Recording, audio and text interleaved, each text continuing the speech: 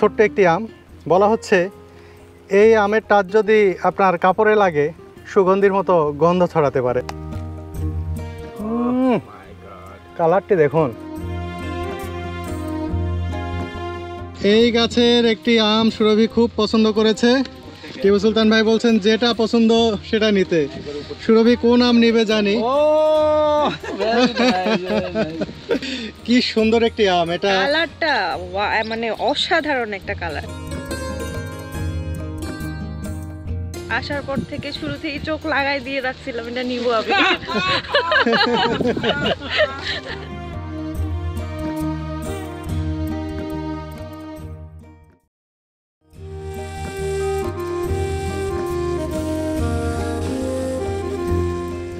দুনিয়ার সব বিখ্যাত আম এক বাগানে। ভাবা যায়, বিক্রমপুর তথা মুন্সীগঞ্জের সিরাজদি খান উপজেলার কুসুমপুর গ্রামের জুবেন বাগান যেন কল্পনারই বাস্তব রূপ হয়ে চোখের সামনে ধরা দিয়েছে।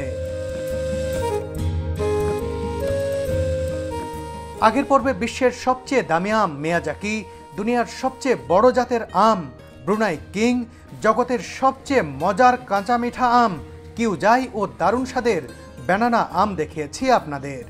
দেখিয়েছি রসে ভরা তাইওয়ান রেড ও রেড পালমারো।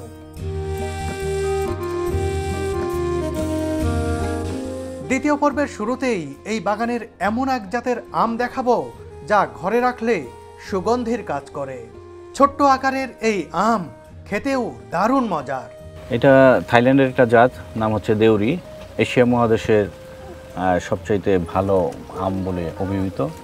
এবং এই আমটা পাকলে আপনার যে সুঘ্রাণ সেটা যদি অনেক সময় আমরা খাওয়া দাওয়া করার সময় জামায় কিংবা কাপড়ে লেগে যায় না একটু লেগে গেলে সারাদিনই তার স্মেল পাওয়া যাবে এত সুঘ্রাণ আর কি।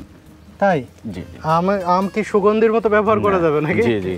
এখন আপনি আম বলেছেন যে অনেক আম খেয়েছি আর খাওয়া যাবে না কিন্তু এটা না খেলে আবার মিস করবেন সেটা খেতেই হবে আর কি। কেন এটা? এটা একটু খেয়ে দেখাটা ভালো। তাই? এটার নাম কি কি বললেন যেন? দেউরি। দেউরি। ছোট্ট একটি আম। বলা হচ্ছে, এই আমের টাচ যদি আপনার কাপড়ে লাগে, সুগন্ধির মতো গন্ধ ছড়াতে পারে। গন্ধটাও অনেক সুন্দর। দেখি এটা খেয়ে দেখতে চাই। না খেলে নাকি মিস করব? মিস তো করতেই চাই না। কালারটি দেখুন। কি অদ্ভুত কালার এক একটি আম, এক একটি টেস্ট মানে এক এক ধরনের টেস্ট কোনটাকে যে কীভাবে বর্ণনা করব আমি খেয়ে হারিয়ে ফেলছি আর কি। এটার কালারটা দেখুন, আর কিছু দেখা লাগবে না। এটা দেখলেই বুঝতে পারবেন এই কালারের স্বাদ কি হতে পারে। একেবারে ক্ষীরের মতো জমে রয়েছে। এখানে বিন্দু মাত্র কোনো আঁশ নেই। একেবারে বিন্দু মাত্র আঁশ নেই, আর লেয়ার দেখুন, উপরের দিকে হলুদ, আর যত ভিতরে গেছে তত ডিপ লালের মতো হয়ে গেছে। এবং এটাতে আপনি কামড় দিবেন যে পুরাটা মাখনের মতো গলে যাবে। এখানে কোনো রকম কোনো আপনি, দেখুন, এই যে খুলে চলে আসছে, মনে হচ্ছে গা থেকে জামা খুলছি আর কি। এইরকম আর এর এতে কোনো ধরনের কোনো আঁশ নেই, বিন্দু মাত্র কোনো আঁশ নেই। দেখায় আপনাদের চাপ দিয়ে। দেখুন। আঁশবিহীন দারুণ সুস্বাদে, সুস্বাদু একটি আম। এই আমটি আমার খাওয়ার সৌভাগ্য- হলো দারুণ। হা পড়ে গেল। একটু জামান লাগাই দেন। দেখবেন যে সুগন্ধ। না সত্যি। এই আম শুধু সুগন্ধই ছড়াবে তা নয় এই আম কিন্তু আপনার মুখের স্বাদটাও একেবারে ফিরিয়ে দেবে। যদি এই আম খাওয়ার পরে যদি অন্য কিছু আর না খান এই স্বাদটা মুখে আপনার দীর্ঘক্ষণ থেকে যাবে।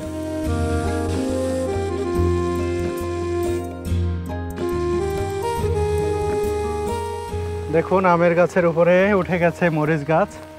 এরকম মরিচ গাছ এখানে অনেক দেখছি। এই মরিচগুলো কিন্তু খেতে খুবই সুস্বাদু। বিশেষ করে গরম ভাতের সাথে ভর্তার সাথে এমনি এমনি চিবিয়ে খেতে পারবেন। খুবই মজা লাগে। আপনার যে রসনার তৃপ্তি অনেক গুণ বাড়িয়ে দিতে পারে এরকম মরিচগুলো। এই বাগানে রেড পালমারের ফলন হয়েছে চোখে পড়ার মতো। এই আমটার চেহারাটাই অন্যরকম। মানে এই আমের চেহারাই একটা মায়া আছে। হ্যাঁ, দেখেই দেখতে ইচ্ছে করে শুধু। কি সুন্দর কালার। কল্পনায় করা যায় না যে একেবারে বেগুনি একটা কালার আর যত পাকবে তত এর কালারটা উপরের দিকে লালচে হয়ে আসবে এবং তত সুন্দর লাগবে দেখতে।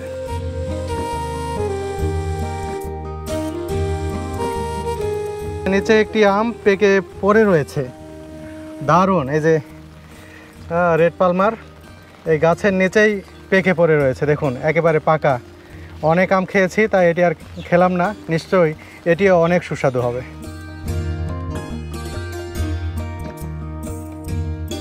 বন্ধুরা, এটি হচ্ছে আমেরিকান ক্যান বলা হচ্ছে এই আমকে। এটা আম তো দেখিনি, এই জাতের নামও শুনিনি। অনেক আম ধরেছে। এর ফলন নাকি অনেক ভালো হয়, খেতেও সুস্বাদু। আসলে সারা দুনিয়াতে যত সুস্বাদু আম রয়েছে, তার সব কিছুই এই বাগানে নিয়ে আসার চেষ্টা করেছেন টিপু সুলতান ভাই। অনেক ক্ষেত্রে অনেক ক্ষেত্রে মানে কি, প্রায় পুরোপুরি সফল হয়েছেন। প্রায় সবগুলো আমি এখানে খুব ভালো ফলন হয়েছে। সামনের বছর আরও যে অনেক জাত রয়েছে, সেগুলোতেও ফলন হবে।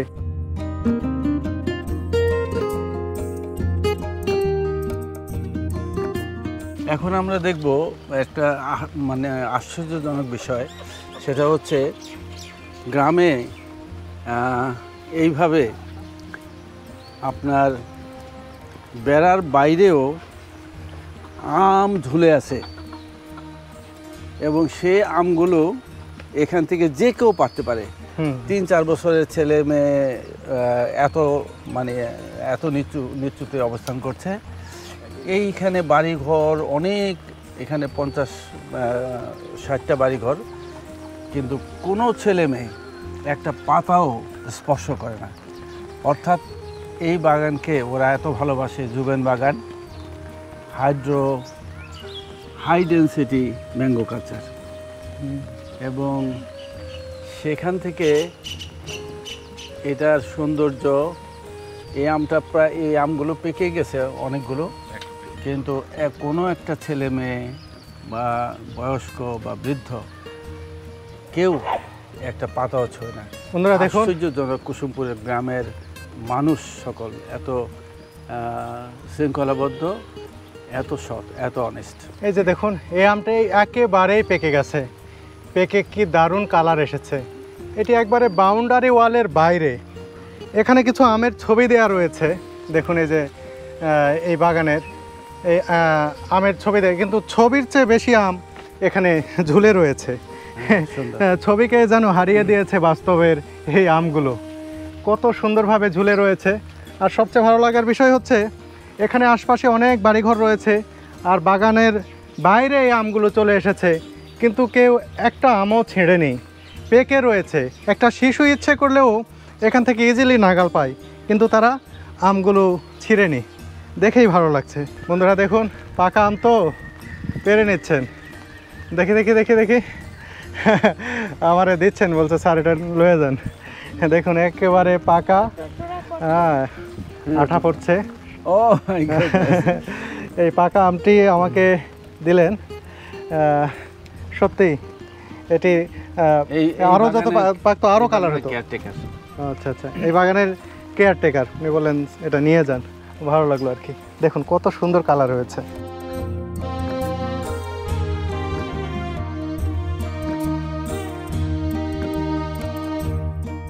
এটা হলো বাড়ি ফোর আম। গভর্নমেন্ট রেজিস্টার একটা আম। আচ্ছা। বাড়ি ফোর আমাদের দেশে বিভিন্ন প্রকার লেট ভ্যারাইটি আম আছে।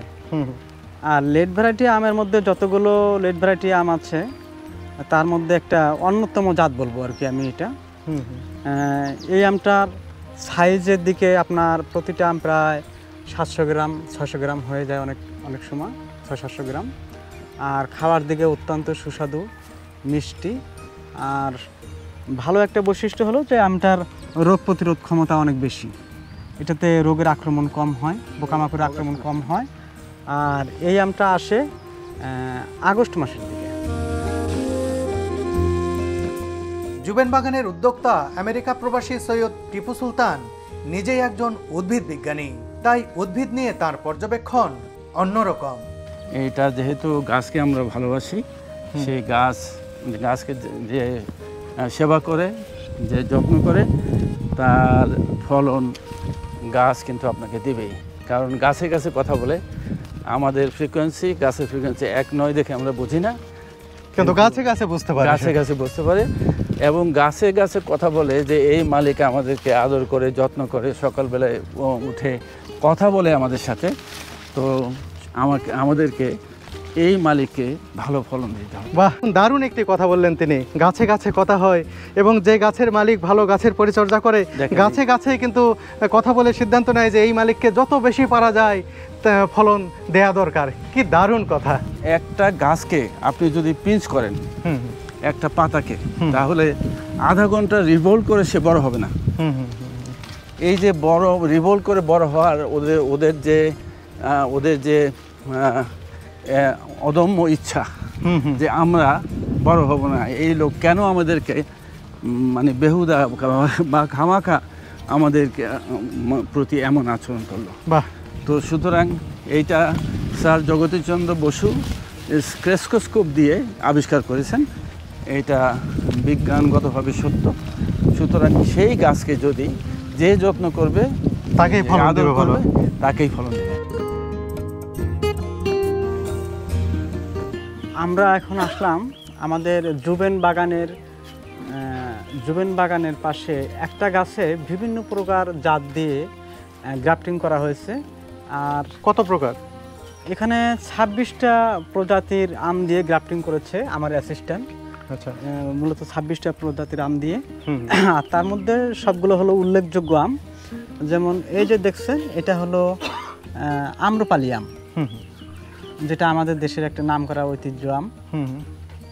আর এর পাশাপাশি এই যে দেখছেন এগুলো হলো কিউজাই আম। আবার এর পাশেই দেখেন এই যে জাপানের মেয়াজাকি পৃথিবীর বিখ্যাত আম যে সাইজটা কত বড় হয়ে আসছে এটা হলো মেয়াজাকি আম। আর এর পাশে যেটা দেখা যাচ্ছে এটা হলো চাকাপাত। চাকাপা কোন জায়গার এটা? চাকাপাত। এবং এটাকে টাইন্ডেডও বলা হয়। আচ্ছা আচ্ছা। আর এর পাশাপাশি যেটা আছে এই যে দেখছেন এটা হলো রেড পালমার। হুম হুম, হুম। আর এই যে দেখতেছেন এটা হলো কাটিমন মানে কত ধরনের আম তাহলে এক গাছে? এটা বারো মাসি একটা আমের জাত। আর এর ভিতরে আছে এই যে দেখতেছেন এটা হলো বাড়ি ফোর মানে কত ধরনের আম আছে এক গাছে?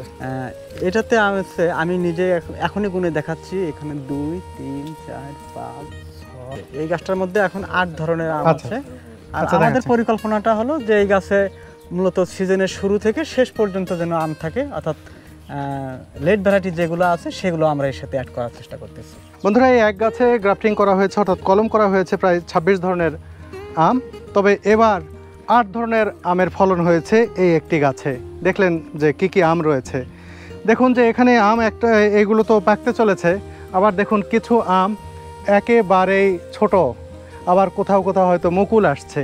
তার মানে হচ্ছে এখানে এই জাতের আম এই এটার নাম কি জানো? এটা বারো মাসে বাড়ি এগারো। বারো মাসি বা- বাড়ি এগারো। এই আমটা কিন্তু বারো মাসই ধরবে।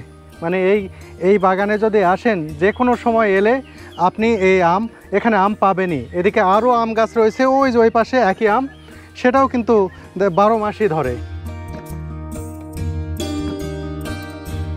বন্ধুরা আমরা এখন চলে যাব। ঠিক সেই মুহূর্তে টিপু সুলতান ভাই এই যে আমার বউ সুরভিকে কিউ যায় আম দুনিয়ার সবচেয়ে সুমিষ্ট যে কাঁচা মিঠা আম সেটি উপহার হিসেবে দিচ্ছেন। সুরভি তো খুব খুশি। এটা খুব মূল্যবান। সবচেয়ে বড় কাঁচা মিঠা জোড়া থেকে তোমার উপহার। অনেক ধন্যবাদ ভাইয়া। এর চেয়ে বড় উপহার কিছু হতে পারে না সুরভি। হ্যাঁ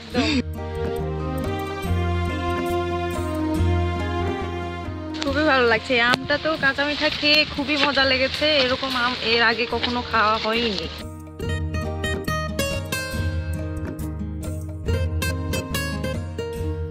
এই গাছের একটি আম সুরভি খুব পছন্দ করেছে। টিপু সুলতান ভাই বলছেন যেটা পছন্দ সেটা নিতে। সুরভি কোন আম নিবে জানি।